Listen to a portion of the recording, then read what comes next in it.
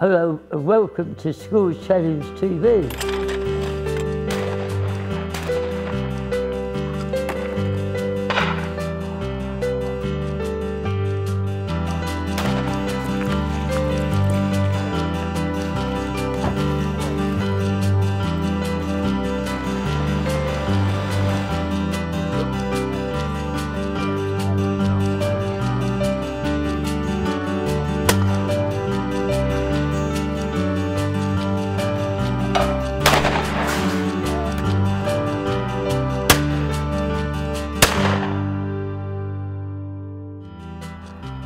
Here are some Land Rover nuts.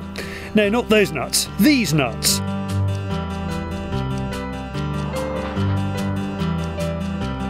The G4 Challenge Land Rover Club has come to the Oxford Gun Company, the home of the Schools Challenge, and they've painted the car park orange. The G4 Challenge was an off-road driving competition run in 2003 and 2006. The 2009 event was cancelled, but Land Rover enthusiasts snapped up the special event vehicles, and today 13 of them have gathered to have a go at shooting before tackling the off-road course. The point was, unlike the Camel Challenge, where they disappeared into the jungle and battled away through the jungle, these were used more to show what a standard Land Rover would do. And they just picked the colour off a teapot in somebody's kitchen, Tangiers orange. They're used more to carry kit and equipment to places so you can go kayaking, mountain biking, orienteering, rather than getting them stuck in the jungle. First off, it's the shooting, and the Land Rover OCDs are having great fun under the guidance of the OGC's instructors. Um, it went really well. I beat you. Yeah, you did. yeah. Um, and it went quite well. It What was your score, Charlotte? 21, Out of? 30. So you were really good, weren't you? Mm-hmm. Good. What was yours?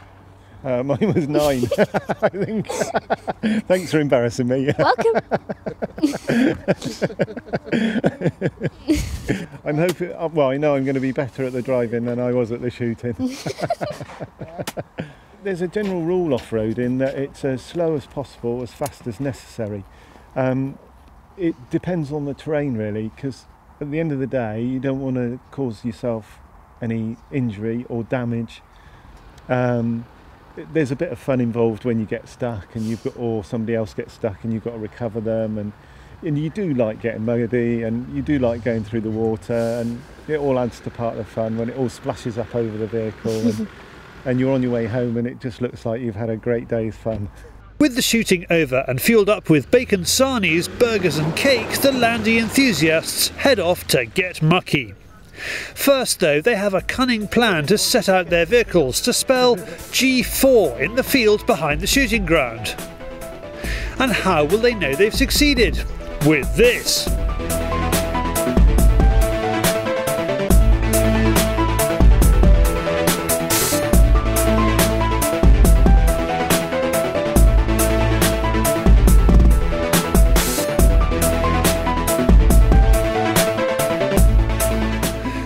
That's done that. Now for some serious off-road stuff.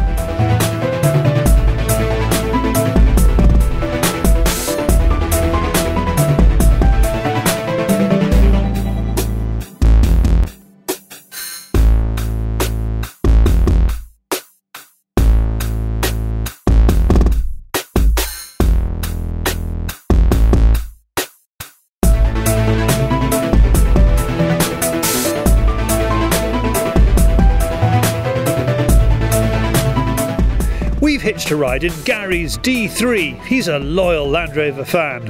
I've had Land Rover since I was 17. so this is about my 13th or 14th Land Rover.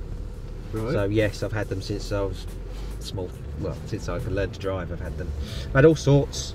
This is uh, my second D3.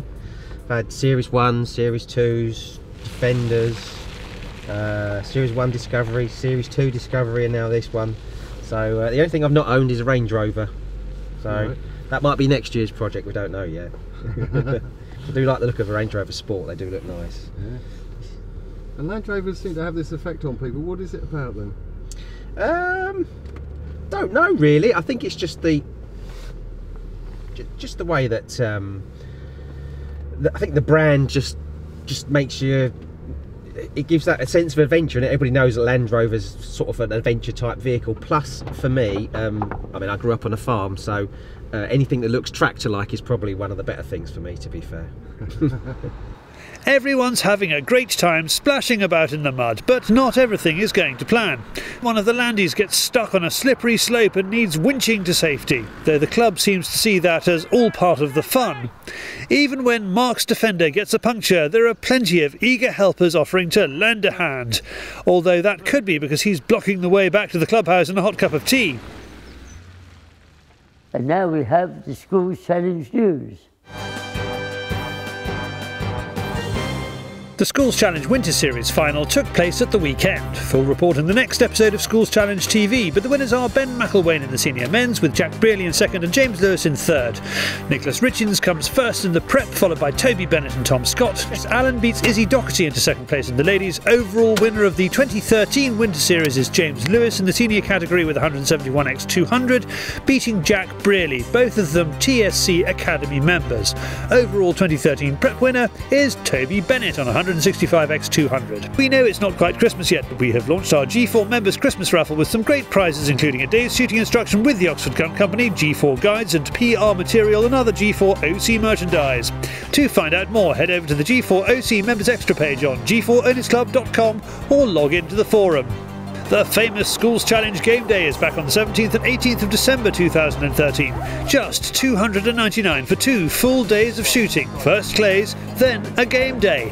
To get booked in, please call Rosie on 01844 238 308.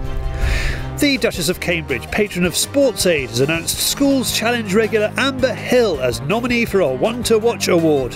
This award recognises young sports people who have been supported by Sports Aid in 2013 and whose performance this year has highlighted them as one of the brightest hopes for the future of British sport. Amber joins a shortlist of just three athletes chosen from more than 1,300 talented sportsmen and women from across the UK, hoping to follow in the footsteps of previous winner Tom Daley. Amber has had a phenomenal year this year, and at just 16 years of age, is already ranked fifth in the world at the senior level. Achievements in 2013 include number one in GB ladies team at senior level. She holds the junior world record with a score of 74x75. She's equalled the world senior record with that score. She is the youngest junior to make a World Cup final and win. She won gold at the World Cup in Acapulco. She won gold, silver, and bronze at international junior cups. She took team silver in the European Championships, and in the World Championship, she took team silver.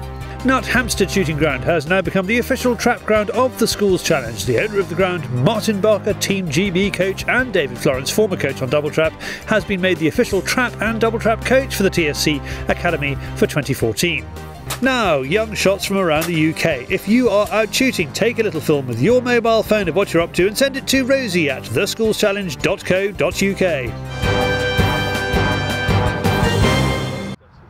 While the Land Rover mob are busy pulling each other out of the mud, the Schools Challenge Academy has come to the Oxford Gun Company for one of their regular training sessions. In the last episode of Schools Challenge TV, we offered you the chance to train with them, and the winner is.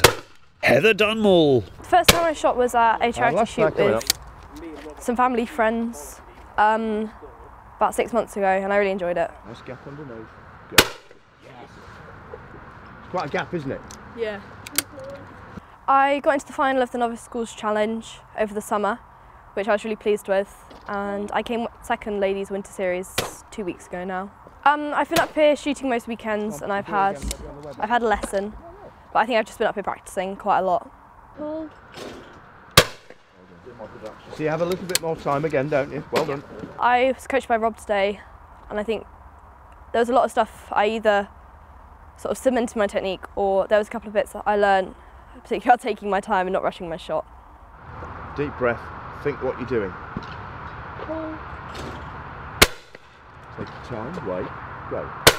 Yes, Paddy, come on! I'm hoping to join the academy next year, well this year coming, and once I get into that, just shooting more competitions here at Oxford and, and getting my average score a bit better. There are five spaces available for TSC Academy in 2014. The Schools Challenge Academy has been the most successful academy in the shooting world this year. The academy as a group has won more prizes and trophies than any other academy group. Send your shooting CV to rosie at schoolschallenge.co.uk. That was Schools Challenge TV. I hope you've enjoyed this programme. And if you'd like to find out any more information about how to get involved in the Schools Challenge, uh, the academy, the competitions, or the sponsors companies that sponsors the Schools Challenge, please contact us on the contact details above.